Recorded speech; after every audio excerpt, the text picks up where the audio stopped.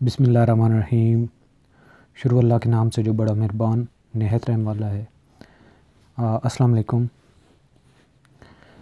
आज हम national saving organization के फ़ंक्शंस का लेक्चर नंबर 46 और आज ये हमारा लास्ट लेक्चर है about the national saving organization के जो फ़ंक्शंस हैं, उसके मुतालिक।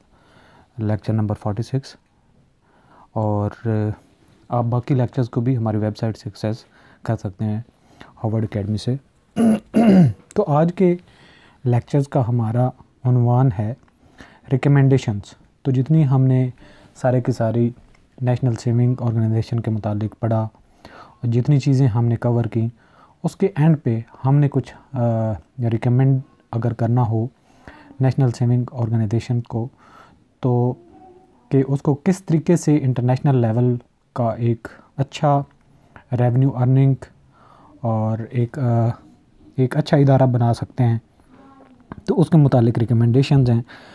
तो ये इस लिहाज से भी एक तो ज़रूरी है कि जब आप लेट सपोज़ के जाते हैं रिटर्न टेस्ट क्वालिफाई करने के बाद एफ़ एफपीएससी के इंटरव्यू में तो ये टॉपिक आपको बहुत हेल्पफुल साबित होगा कि जब आपसे कुछ नेशनल सेविंग ऑर्गेनाइजेशन के मुतालिक कुछ पूछा जाए कि आप इसके बारे में क्या जानते हैं या कुछ इसके बारे में सजेस्ट करना चाहें तो आप क्या कहेंगे? तो उस वक्त आपके लिए ये जो पॉइंट्स हैं बहुत इंपॉर्टेंट होंगे। तो सबसे पहला जो पॉइंट है, जो इम्प्रूवमेंट के लिए वो है ब्रांच इन्वायरमेंट कि ओवरऑल जिस तरीके से हम बैंक में आजकल जाते हैं, किसी भी एक मल्टीनेशनल कंपनी के ऑफ़िस में जाते हैं तो बहुत साफ़ सुथरा इन्वायरमेंट हमें मिलता है। वेलकम रिसेप्शन पे मिलता है आपको। तो नेशनल सेविंग ऑर्गेनाइजेशन में ऐसा कल्चर नहीं है। तो इस तरह का कल्चर होना चाहिए। In case of financial institution the branch environment plays a vital role national saving center is require a lot of improvement in this respect क्या क्या इसमें इम्प्रूवमेंट की ज़रूरत है? एक तो क्लिनलीनेस होनी चाहिए। यानी कि general cleanliness condition are very bad so there is a need to take immediate action for the improvement of the branch environment तो एवरी जो नेशनल सेविंग सेंटर्स हैं जो उन ब्रांचेज़ हैं उनका माहौल अच्छा किया जाना चाहिए प्रोफेशनल इन्वायरमेंट करने की ज़रूरत है। इसके अलावा हम किसी भी आज इदारे में जाएँ तो हमें फास्ट कम्युनिकेशन के चैनल्स मिलते हैं। टेक्नोलॉजी का दौर है कंप्यूटर का यूज़ ईमेल का यूज़ प्रिंटिंग स्कैनिंग और फैक्स और फ़ौर से सर्च करना और रिकॉर्ड जो एक आ, कस्टमर होता है उसका मौजूद होता है। टेक्नोलॉजी की मदद से फ़ौर आप उसको टैकल कर सकते हैं और उसके जो जो इश्यूज़ होते हैं, उनको फ़ौर से रिज़ॉल्व कर सकते हैं। जबकि नेशनल सेविंग सेंटर्स में इस तरह का इन्वायरमेंट नहीं है। तो नेशनल सेविंग ऑर्गेनाइजेशन को अपने सेंटर्स जितने भी हैं, उनमें टेक्नोलॉजी लॉन्च करनी चाहिए ताकि अपनी सर्विसेज़ को बेहतर किया जा सके। Now a day every organization have the opportunity to implement development in technology so so that to provide high quality products. It is a computer age as all other financial institutions are computerized. National saving centers must be like uh, this और इसमें जितने flies हैं उनको remove करना चाहिए तो implementation of technology से services international level की जितनी ऑर्गेनाइजेशन हैं उनके मैार के मुताबिक लाने से इम्प्रूवमेंट आएगी इसके अलावा जितने भी प्रोफेशनल्स होते हैं किसी भी ब्रांच में आप जाएँ जहाँ पे फाइनेंस के साथ डील किया जाता है।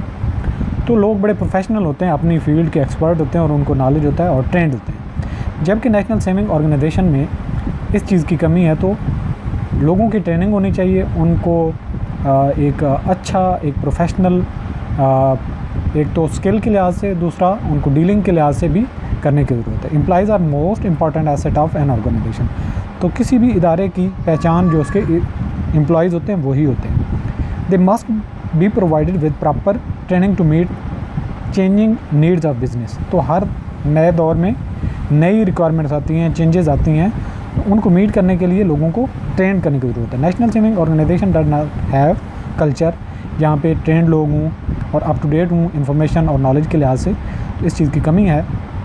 और इस चीज़ की भी ज़रूरत है कि ट्रेनिंग के लिए कंपेन चलाई जाएँ और दूसरे लोगों को बताया जाए कि नेशनल सेविंग ऑर्गेनाइजेशन किस तरह के फ़ायदे या सिक्योरिटी प्रोवाइड की, कर रही है जिससे आप इन्वेस्टमेंट करके अपने रेवेन्यूज़ को बढ़ा सकते हैं। And advertisement campaign must be run to educate the current and potential customer about the rates of its products and handling of account certificates next point है establishment of in other countries के दूसरे ममालिक में भी जो foreigner हैं वो अगर नेशनल सेविंग ऑर्गेनाइजेशन की सिक्योरिटीज़ जो ऑफ़र की जा रही होती हैं, उनमें अगर इन्वेस्टमेंट करना चाहें तो उनके लिए एक जो है, वो सर्विस डोर होने चाहिए सर्विस विंडोज़ होनी चाहिए, जो मुख्तलिफ़ जगह पे ऑपरेट हो रही हूँ, ताकि ज़्यादा से ज़्यादा रेवेन्यूज़ बढ़ाए जा सकें।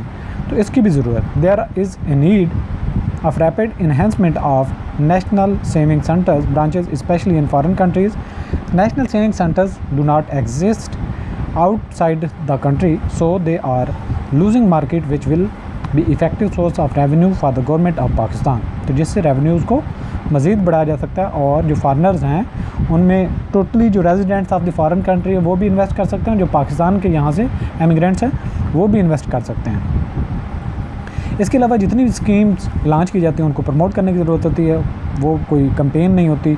कहीं पे किसी नॉर्मल लोगों को इसका ज़्यादा नॉलेज नहीं होता तो इसके लिए प्रमोशन की ज़रूरत है ताकि स्कीम जितनी भी लॉन्च की जाएँ, लोग उसमें इन्वेस्ट करें जो जिसको सूट करती हो। National saving centre is working in high competitive environment तो बहुत कंपटीशन है। बैंक्स का भी हर जगह पे सिक्योरिटीज प्रोवाइड की जाती है इन्वेस्टमेंट होती है। स्टॉक एक्सचेंज में लोग इन्वेस्ट करते हैं। So promotion of schemes can be very important strategy to take competitive advantage तो जितनी अच्छी स्कीम्स ये लॉन्च करते हैं, उसको अट्रैक्ट करने के लिए प्रमोशन की ज़रूरत है। So a full fledged promotional programme should be launch to create awareness about the schemes of national saving organisation तो स्कीम्स को प्रमोट किया जाए और उन पे जो टेलीविज़न रेडियो के थ्रू या ब्राउशर्स के थ्रू उनकी जो है एडवर्टीज़मेंट की जाए प्रमोट किया जाए, जिससे रेवेन्यूज़ बढ़ाए जा सकते हैं और जो इनकी परफॉर्मेंस है बेहतर से बेहतर हो सकती है। तो आज का ये हमारा सेशन ख़त्म होता है और ये पार्ट भी इस तरीके से हमारा ये ख़त्म हुआ। दुआ में याद रखिए। अल्लाह हाफ़